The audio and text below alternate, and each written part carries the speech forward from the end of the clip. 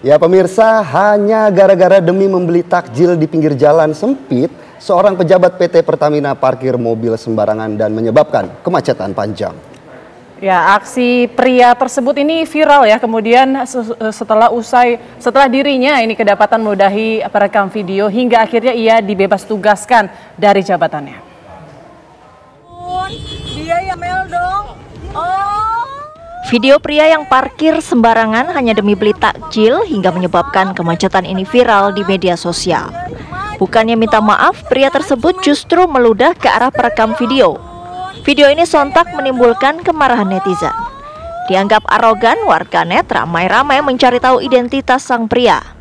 Pria tersebut makin panen hujatan usai diketahui dirinya bernama Arif Febrian yang ternyata merupakan salah satu pejabat Pertamina sebagai asisten manajer crude oil domestic supply PT Kilang Pertamina Internasional KPI. Usai ramai dihujat, Ari muncul di media sosial sambil menyampaikan permohonan maafnya. Assalamualaikum warahmatullahi wabarakatuh. Saya Ari, pengendara mobil Honda HR-V yang saat ini sedang ramai dibicarakan. Dengan ini saya menyampaikan permohonan maaf yang sebesar-besarnya kepada saudari Mila dan rekan beserta semua masyarakat yang terganggu dengan tindakan saya yang tidak baik dan tidak semestinya.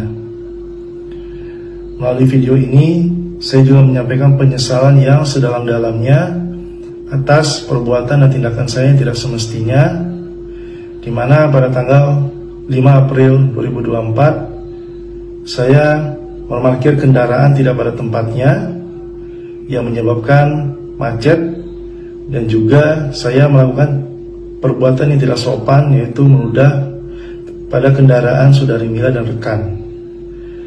Melalui video ini saya sekali lagi memohon maaf kepada saudari Mila dan saya siap untuk meminta maaf baik secara langsung maupun tidak langsung kepada saudari Mila dan rekan.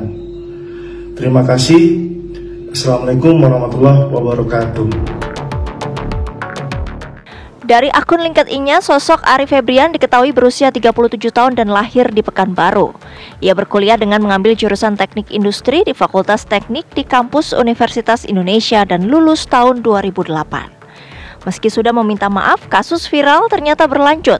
PT Pertamina diketahui menindaklanjuti kasus tersebut dan akhirnya membebas tugaskan Ari dari jabatannya. Pertamina menyampaikan permintaan maaf lewat kolom komentar Instagram atas tindakan karyawan yang telah melanggar etika. Belakangan dikabarkan kasus ini tengah mendapat investigasi internal dari pihak Pertamina. Tim TV One mengabarkan.